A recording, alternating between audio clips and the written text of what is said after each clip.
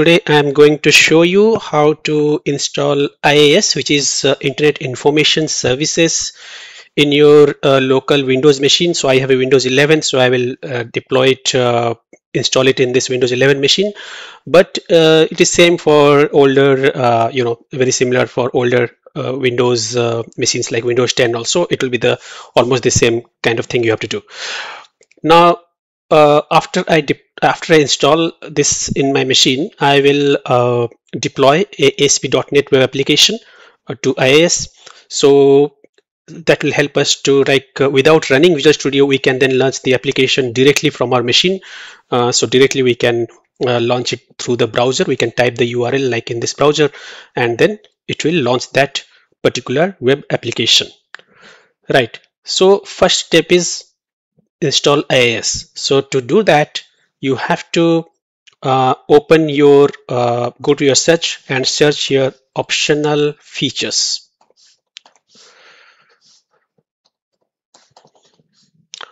Okay so open this. Here you can see something called as internet information services and you can see number of options. So just check this one. So the default options will be selected and then click on ok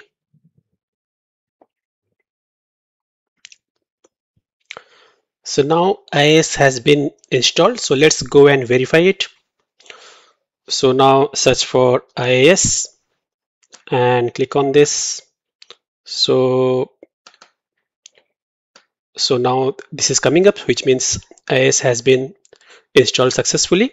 So you have a default ASP.NET website. So we can click on this browse to see if it is able to launch the default uh, web application.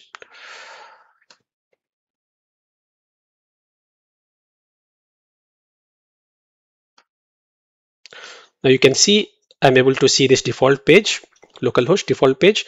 So which means the successful uh, it has successfully installed IIS in my machine. So after installing IIS, the next step is to deploy a an application. But before that, we have to uh, publish the application. Right now, here I will be using a ASP.NET application, which I have to publish. Mm, so it will create a bundle basically, and then uh, we have to copy that bundle uh, to one location and then set up the website and application pools.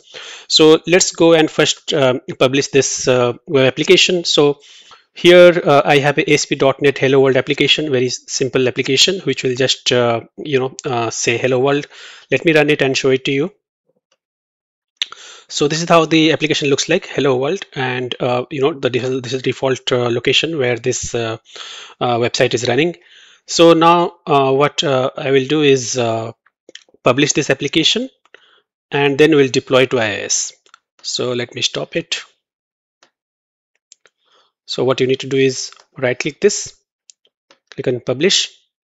Here you have different options. So select folder, next. So this is the location where I'll publish it. You can change the location if you want.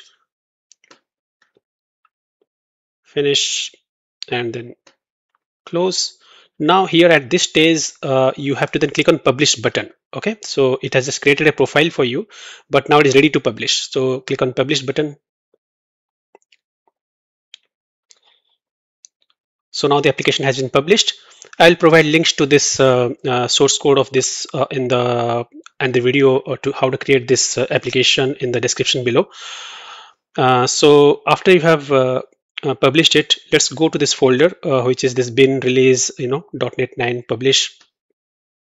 So this is the folder where it is created. Let's copy this these things. So IIS has created a default uh, folder location where uh, you, you'll see in your C drive, by default it will be created in C drive, inetpub. So this is where all the de default websites will be created. Uh, so we will also copy our uh, published files here. So what I'll do is create a folder.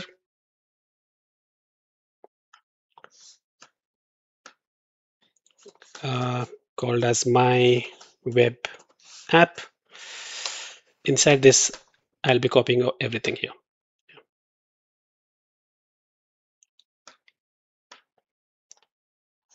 So now all my uh, files has been copied here. So now what you have to do is we have to go back to IIS Now here uh, we have to do two, two things. One is first we need to create an application pool. So click on this add application pool here. Name it as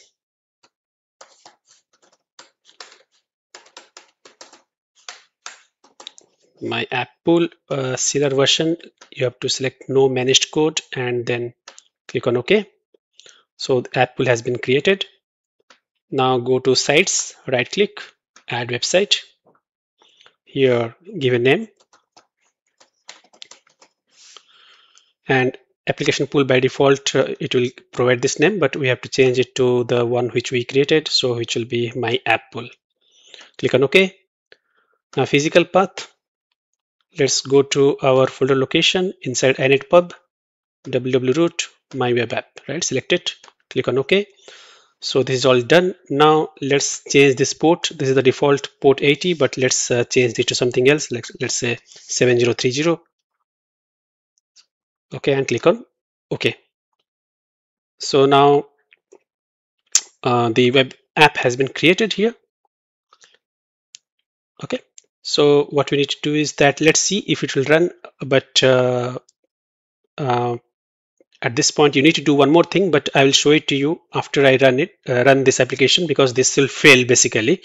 So but, but I want to show you what will happen now. Now you can see that um, this I got this error message right? 500 internal service error server error which is saying that it is unable to read this uh, web.config file okay this is happening because we don't have a .NET uh, bundle which needs to be installed. So let's install that .NET bundle. So now we have to install this uh, .NET hosting bundle. Um, you can search in Google for this or I can also, uh, I'll be providing the link for this uh, in the description box. So you can click that uh, link. So this is basically the link which you have to then uh, go here and it will download this uh, .NET uh, Core 9.0 runtime bundle, okay, hosting bundle. So you can see now this has been downloaded. So, so after that, we have to install this one. So click on install button. so installation successfully completed. Close on this, close this window. Let's now go back here. Let's uh, restart this application. Uh, better to restart this uh, app pool as well. So so let's give it give it a second and then click on start. If you do it too quickly it will throw an error. So stop wait for a couple of seconds and then click on start button. So now the app pool is running. Uh, website is also running. So we have to go back here and refresh it. So now you can see uh, the web page is coming up, hello world web page, and uh, which means you know everything is done perfectly. So here I will show you one more bonus thing. So suppose you don't want to install inside C uh, C drive and inetpub folder, right? So we have this folder here where we have copied it. So suppose you don't want it to be uh, copied here, rather you want to keep all your web application applications somewhere else, right? So in that case, uh, you need to do certain things. So let's do that. Go to C drive, right? Let's create a folder here. It can be C drive, D drive, any drive you want. Uh, let's name it like YouTube YouTube apps go inside this and uh, I have to cut paste this one. So here. Okay so it is saying it cannot move it because you have to now stop this. Stopped it try again and it is able to copy it. So so everything has been copied. So what we need to now do is go back to this web app. And here you have to go to this advanced settings. Here select this button here for physical path. And then go to your folder right? And uh, YouTube apps. My web app right? Select OK.